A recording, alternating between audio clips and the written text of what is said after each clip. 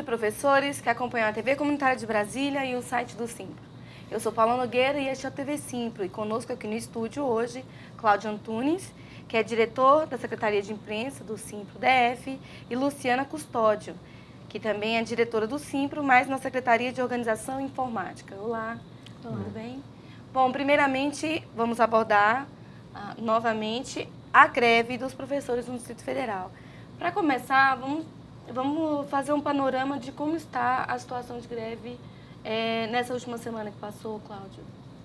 É, primeiro é importante lembrar que não só a educação hoje está em greve, mas nós temos também servidores de outras áreas e todos pelo mesmo motivo, exigindo que o governo do Distrito Federal cumpra a lei de seus planos de carreira e pague as tabelas salariais vigentes. Hoje todas essas carreiras e até mesmo aquelas que é, retornaram ao trabalho, é, retornaram sem esse cumprimento é, de tabela salarial, hoje brigam pela mesma coisa e padecem do, do mesmo problema, que é a redução salarial que o não pagamento das tabelas salariais vigentes acaba produzindo. Então, é, é, um cenário muito desconfortável para o conjunto da sociedade do Distrito Federal de ver que nesse mês né, de outubro, novembro, nós tivemos é, tantos serviços públicos paralisados e alguns ainda paralisados, como no caso da educação,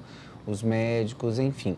Estamos aí com serviços públicos que a população necessita paralisados por conta de um governador que não quer cumprir a lei. Realmente ele se apropriou é, do Palácio do Buriti e de lá governa imaginando-se ser um faraó, um rei, faz o que quer, descumpre lei e com isso é, o resultado não poderia ser outro, os trabalhadores reagiram e estamos aí numa greve que continua lutando para que o governo cumpra as tabelas salariais. Perfeito. Bom, Luciana, quais têm sido as ações realizadas pelo sindicato nessa semana? Então, assim, vale ressaltar que hoje estamos no 26º dia de greve, né? uma greve difícil, é, extremamente atípica, porque nós estamos é, falando de uma greve que é contra a retirada de direitos, e não greve na perspectiva de ampliar a pauta de reivindicação. Né? O, as nossas ações têm sido para dialogar com a comunidade, denunciar essa política neoliberal e nefasta do governador Hollenberg, que é jogar para o colo da classe trabalhadora uma conta que ele tem que saber administrar, porque foi eleito para isso. Nós temos feito várias ações, uma delas foi a que gerou a maior comoção social, foi a, a interdição lá do, das duas saídas do eixo norte e sul, que infelizmente Brasília ficou com a marca de ter um governador que manda a polícia bater em professor. Né? E quando uma companheira nossa, Meg, diretora do Simpro, orientadora educacional, vice-presidenta da CUT, sofre aquela espécie de agressão é, desumana, algemada, agredida por policiais, não foi só ela que sofreu essa agressão, como ela mesma diz, foi uma agressão desferida para toda a categoria de professores e professoras. Então, infelizmente, agora a gente traz essa marca né, triste e cruel para a sociedade de Brasília, tendo o professor apanhando da polícia a mando do governador. Então, nós temos tido como estratégia dialogar bastante com a sociedade de Brasília, para ter o apoio da comunidade, porque a saída para essa greve tá nas, está nas mãos do governador.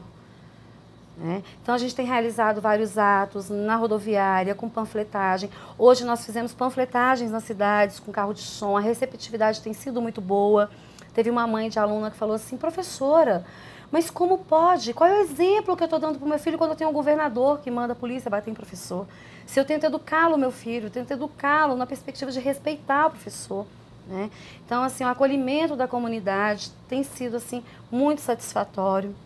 É, tivemos agora à tarde também uma reunião com os gestores das escolas do Distrito Federal e tiramos lá algumas deliberações na perspectiva de não seguir as orientações do governo quando ele coloca algumas ações a serem tomadas pela equipe gestora na perspectiva de desmobilizar o nosso movimento. Então, quero parabenizar aqui os gestores lá presentes, que eles estão fazendo valer a lei da gestão democrática, porque foram eleitos para terem uma concepção de gestão progressista, de valorização da nossa carreira e da educação pública. Obrigada, Luciana. Bom, Cláudio, uh, fale um pouquinho para a gente sobre a ação que o Ministério Público está eh, movimentando que objetiva efetivar o corte do ponto dos professores que aderiram à greve. Então, o governo do Distrito Federal realmente tem buscado mecanismo de entrar para a história como governador do Distrito Federal. É hoje o maior caloteiro que o Distrito Federal já viu, descumpre 32 leis de planos de carreira, descumpre hoje a Lei Complementar 840-11 do Serviço Público no Distrito Federal, e aí eu estou me referindo ao reajuste também do auxílio alimentação, que tem que ser anual, ele não está cumprindo, e ainda fica tentando fazer modificações nessa legislação.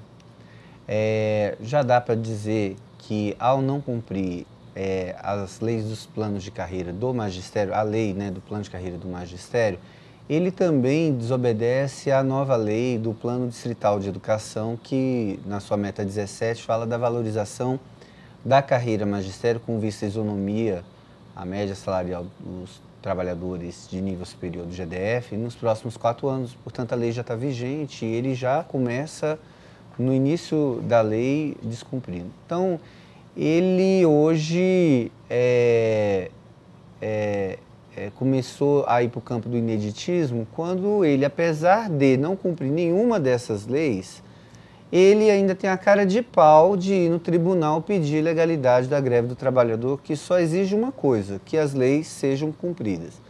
Como a Luciana falou, nós não estamos numa greve para acrescentar é, algo no conjunto de direitos dos trabalhadores. Não, as greves estão acontecendo, a greve do professor hoje acontece para que o governo do Distrito Federal é, cumpra a lei.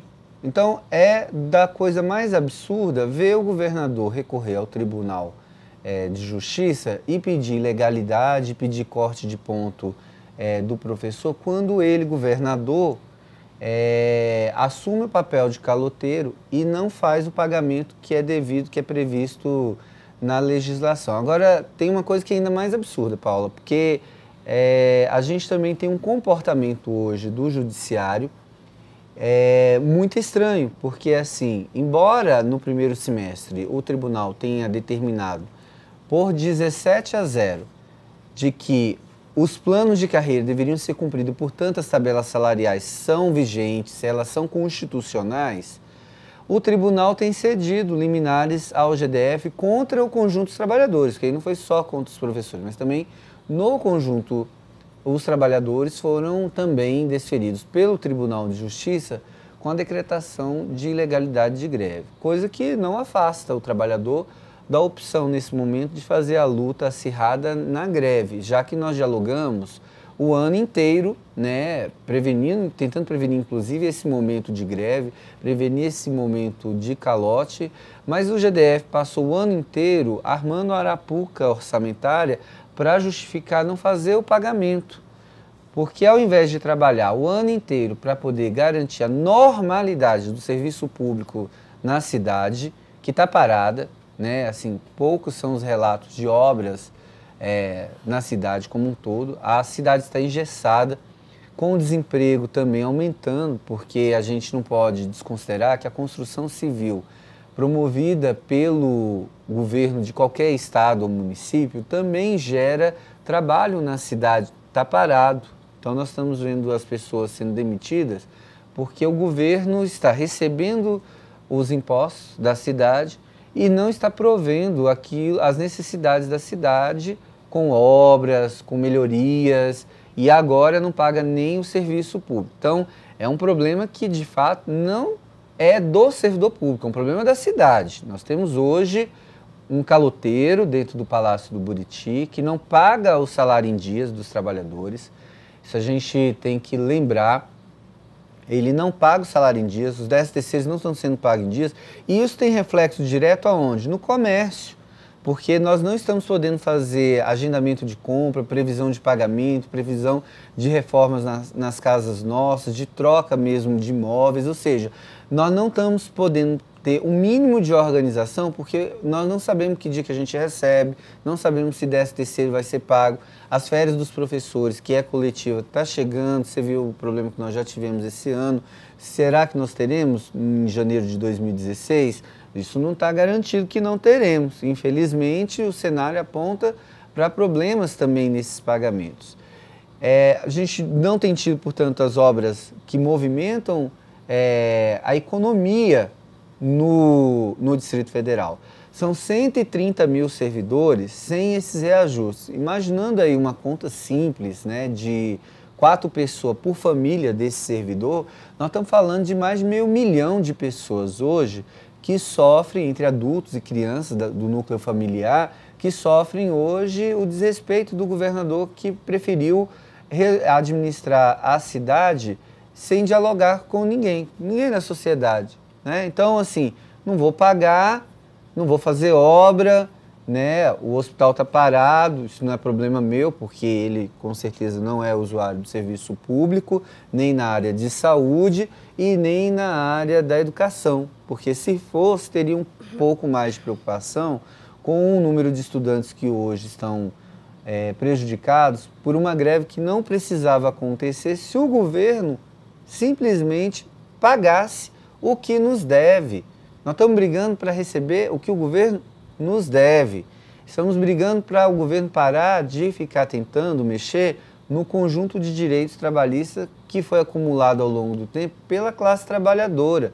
Então, quem é o trabalhador que está em casa nos assistindo, que trabalha feliz sabendo que não vai receber o 13 terceiro? Que vai aposentar e não vai receber os acertos de final de conta? Porque nós estamos também com os professores aí aposentados que não receberam os seus acertos financeiros. Qual é o trabalhador que tem tranquilidade de trabalhar sem saber que dia que vai receber o salário do mês seguinte, porque o governo toda vez vai na televisão anunciar que está com problema de caixa, talvez não tenha dinheiro para pagar o salário. Então, assim, esse é o Distrito Federal surreal que nós estamos vivendo aqui no ano de 2015. E para completar, a gente ainda tem um Ministério Público que, é, que não é judiciário, mas que serve para fiscalizar né, os, os entes é, do executivo, do judiciário, do legislativo, os direitos do cidadão, que ao invés de fazer a defesa do cumprimento da lei, vai no primeiro semestre pedir a inconstitucionalidade dos planos de carreira. Perdeu por 17 a 0. Não satisfeito, sabendo que os professores no primeiro semestre fizeram uma grande briga pela constitucionalidade dessa lei, agora no meio da nossa greve, ao invés de ir né, a público fazer a defesa do cumprimento do plano que foi decretado legal pelo tribunal, não. Mandou cortar mesmo o ponto dos professores. E aí, tanto a decisão judicial quanto a, o posicionamento que é político do Ministério Público, é uma ação política do Ministério Público, não intimidam os professores. Nós nunca nos intimidamos por esse tipo de ação. Então, a categoria decide quando entra em greve e decide também quando vai sair da greve. Não é o Poder Judiciário, tampouco o Ministério Público, muito menos o governador, que também tem ido na televisão dizer, ah, vai acabar tal dia, tal dia. Não, quem define isso é a classe trabalhadora, é o próprio trabalhador que define isso. Estamos exercendo o nosso direito constitucional de greve. É uma pena a gente não ter no Distrito Federal um governador que cumpra as leis. É inédito isso na democracia, porque na ditadura realmente as leis e meia dúzia de banana era a mesma coisa. Agora, em plena democracia, você não ter as leis respeitadas por, um cara que foi eleito no processo democrático, não dá para acreditar num negócio desse. E ainda é, ganha abrigo no Ministério Público, que deveria estar fiscalizando as ações dele, e ainda ganha é, abrigo dentro do tribunal que não deveria permitir que um governador descumprisse descaradamente tantas leis ao mesmo tempo. Não estamos falando de uma lei, estamos falando de várias leis que não têm sido é, cumpridas. E aí o, existe um, um site é, do GDF, que é o Siga Brasília, que demonstra a movimentação mês a mês né, das finanças do GDF. O cidadão de Brasília entra lá e identifica o quê? Que no ano passado você tinha X orçamento e que esse ano o orçamento Y é maior do que o do ano passado. Então, onde é que está a crise econômica? Se o próprio site do governo de transparência, que é um mecanismo que certamente só existe porque governos anteriores fizeram, porque se dependesse hoje desse governo, ele não faria, porque hoje esse mecanismo tem é, sido utilizado pela população do Distrito Federal para aumentar o seu espanto de que há dinheiro, há recurso, o recurso aumentou em relação ao ano anterior e mesmo assim o governo não faz os pagamentos que deve. Tem trabalhador, nós estamos falando do professor, do orientador educacional, do médico, mas tem trabalhador que ganha pouco mais do que o salário mínimo, que é aquele que limpa a escola, que faz a faxina da escola. Tem, que, são trabalhadores terceirizados, portanto, até numa condição mais fragilizada na sua relação de trabalho. Tem um trabalhador terceirizado que faz a merenda é, do estudante hoje na escola pública do Distrito Federal. Esse trabalhador também está na mesma situação do professor, não sabe que dia que recebe o salário, porque mesmo tendo um salário, inclusive muito baixo, muito baixo, o governo prefere pagar às empresas um valor muito maior, que é o processo da terceirização. É assim: você tem um empresário que tem um lucro e um trabalhador que recebe um subsalário, e mesmo esse subsalário é atrasado porque o governo não faz o repasse. Então, assim, não é só o professor hoje que passa por uma situação vexatória. É vexatória porque a gente tem conta. Veja, o governo diz que quer pagar o reajuste em outubro de 2016. Eu posso pagar minha conta de luz desse mês, no, em outubro do, de 2016, e a SEB, que é uma empresa do governo do Distrito Federal, vai manter minha luz funcionando, minha água funcionando, a CAESB? Eu posso, no comércio, dar o calote também e dizer que só vou pagar em 2016 quando eu receber? Então, assim, esse é a, o grande dilema hoje é, do trabalhador no Distrito Federal um governador que se apoderou dos poderes da democracia para fazer o que quer. Isso tem outro nome. Para nós, isso é ditadura. Em plena democracia, nós estamos vivendo no Distrito Federal e vendo o maior ditador caloteiro, né, é, até em respeito aos ditadores do passado que pelo menos pagavam o salário dos trabalhadores, nós estamos tendo aqui um ditador caloteiro que não paga salário de trabalhador. É um absurdo isso. Perfeito, Cláudio. No início do ano, uma das alegações do governo seria que o atraso é, no início do ano letivo seria em virtude da reforma das escolas. Né? na, sua avaliação, o Ministério Público averigua esse tipo de informação, igualmente averigua a questão da greve dos professores, ou há uma balança que não está bem equilibrada? Não, não está equilibrado, né? Até porque o Ministério Público é, não tem feito ações de fiscalização. Você vê que o calendário, a alteração do calendário escolar foi um ato é, extremamente antidemocrático. O calendário escolar é discutido com o sindicato, com a categoria como um todo, que debate muito para você chegar a uma conclusão de calendário do ano seguinte. Estávamos com um calendário bem desenhado, com, com oportunidades a comunidade estar participando dentro da escola, discutindo, o governo mudou fazendo essa alegação, não reformou escola nenhuma para receber os estudantes em 2015. Aliás, ao longo do ano, qual escola foi reformada? Você que nos assiste, a, a escola que seu filho estuda foi reformada? Então, assim, qual escola que foi construída? Porque até as creches, é, que hoje estão em construção nas cidades são obras do governo federal. Estamos falando de obras do governo local. Qual escola que foi construída ou reconstruída ou reformada? A cidade está parada. A cidade está parada. O governo não tem feito obras e nós não estamos vendo o Ministério Público é, agir. O próprio Tribunal de Contas, isso tem poucos dias, soltou um relatório dizendo, é, é, na verdade, um alerta no relatório que produziu, de que o governo não estava aplicando nem os 25% previstos da arrecadação local na educação. Ou seja, poderíamos, talvez eles corrijam até esse fluxo agora dezembro, vamos ver o relatório anual como que fica, chegar no final do ano e ter uma, uma aplicação de recurso bem abaixo do que estava sendo feito. Para você ter uma ideia, nos últimos anos, a aplicação do GDF ficou acima dos 25% na educação. Esse ano o GDF deve correr agora no final do ano para dar um jeito de alcançar os, 20%, os 25%. Nem sabemos que se vão alcançar. Mas nos últimos anos nós ultrapassamos, chegamos a quase 30% é, de aplicação na educação pública, que tinha escola sendo construída, escola sendo reformada. Né? Agora nós não temos isso e nós temos um Ministério Público que não, não fiscaliza isso. Perfeito, Cláudio. Bom, a Luciana, na sua avaliação, como tem sido assim, no geral, né? Você, tem, você falou sobre as comunidades escolares que apoiam é, toda a mobilização dos professores, mas em, relação à sociedade e à grande mídia, qual é a sua avaliação desse tipo de apoio? Na verdade, a gente vive um território de disputa que ele extrapola o nosso campo territorial da educação, né? A questão do apoio midiático, ela é extremamente séria, porque é, é uma disputa ideológica. Por isso que a gente tem que estar o tempo inteiro, Paula, é, recorrendo a mídias alternativas. Né? São os boletins, são os jornais para dialogar com a comunidade, carro de som nas cidades, porque infelizmente nós ainda temos uma estrutura midiática que não fala e não defende a pauta da classe trabalhadora.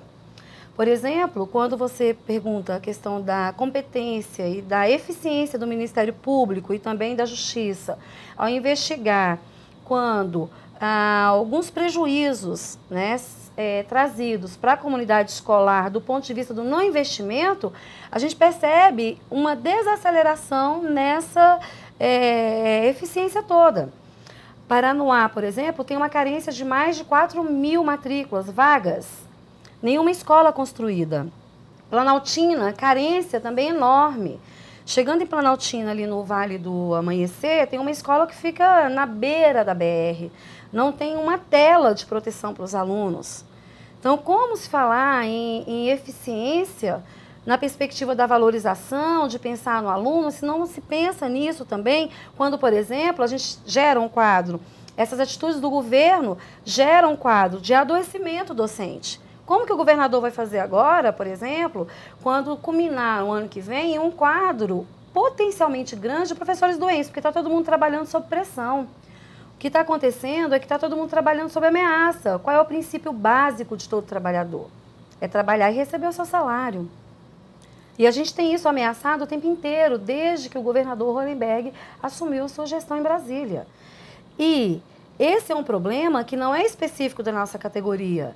Quando ele pediu, naquela época, um pacto por Brasília, na verdade é um pacto por Brasília, como assim, governador Hollenberg?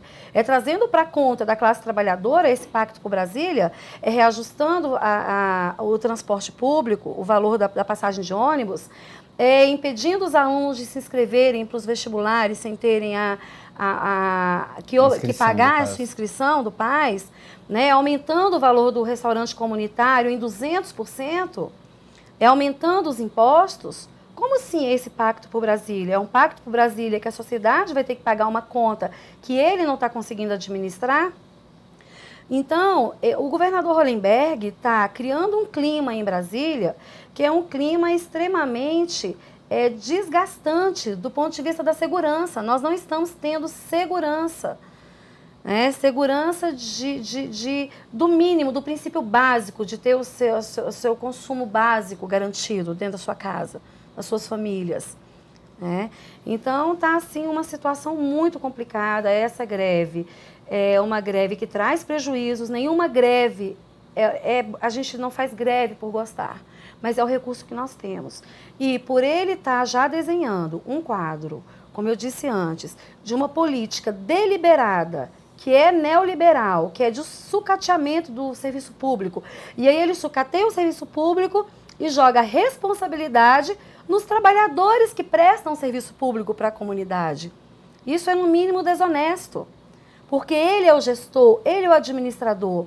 Ele tem que oferecer as condições institucionais e estruturais para que nós possamos servir ao público com a qualidade que nós sabemos servir, que nós somos preparados para isso. Perfeito. Luciana, e em relação às comissões de negociação? É, qual tem sido a postura ou os argumentos adotados pelo governo? Na verdade, o governador não apresenta proposta é, que avance na perspectiva financeira. Então, assim, como pode um trabalhador ter o seu salário diminuído com uma projeção de ter o salário pago na integralidade em outubro de 2016, com retroativo em 2017. Ele já está sinalizando aí um congelamento salarial tanto em 2016 quanto em 2017. Então, não tem viabilidade nenhuma uma proposta dessa. Né? Ele tem que apresentar uma proposta que seja possível considerar algum avanço na perspectiva financeira. Porque nós não estamos falando de reajuste, a gente está fazendo greve por reajuste. A gente está fazendo greve para ter o nosso direito, do nosso salário pago na integralidade. Ele está diminuindo o nosso salário. Isso calculado mês a mês faz diferença. Faz diferença no meu bolso e na, na minha casa, por exemplo, que é a única fonte de renda da família. Eu vou ter o meu salário diminuído e não vou ter uma compensação a partir daí. Né? Então, essa é uma realidade de toda a nossa categoria, é diminuição de salário. Diminuição de salário, diga-se de passagem, de uma recomposição de tabela salarial que foi apresentada lá como saída da greve de 2012, intermediada por ele enquanto era senador da República. Ele fez a defesa dessa proposta e agora ele nos retira de forma deliberada e de forma desonesta. Perfeito. Bom, então, o TV Simples está chegando ao fim, vocês querem se despedir? Então, é, a gente se despede aqui né, desse momento com a certeza de que amanhã nós teremos mais uma assembleia lotada, como foram as últimas assembleias, para que a gente decida coletivamente os rumos do nosso movimento. E esperamos que o governador Hollenberg é, nos aponte uma saída para essa greve, para que as aulas sejam retomadas e para que nós possamos retomar o nosso trabalho no, com a normalidade. Perfeito, Cláudio. É, sobretudo é importante que a categoria compreenda que a nossa realidade mudou.